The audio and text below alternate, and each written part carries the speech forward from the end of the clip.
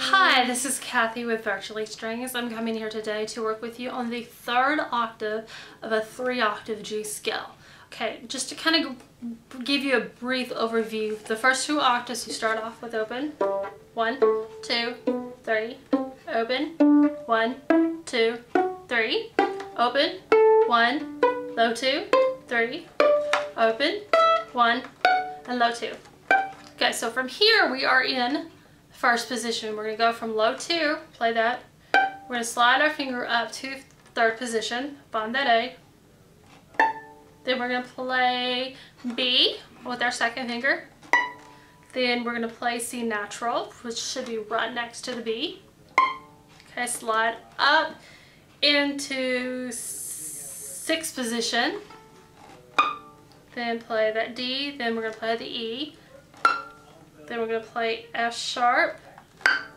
Then right next to it, squish that finger if you have to. We're going to play our G. Okay. As you go up the strings, your fingers are going to become closer, so you're going to have to learn how to squish them in there, right there. Um, and that's because the vibrations, the frequencies are actually smaller.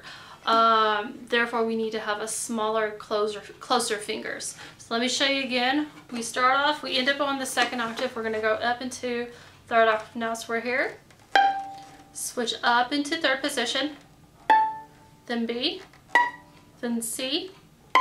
Switch to six. Then E. Then F sharp real close but not quite a close finger. And then squish that G right next to it. Okay? So this is what a three octave G will sound like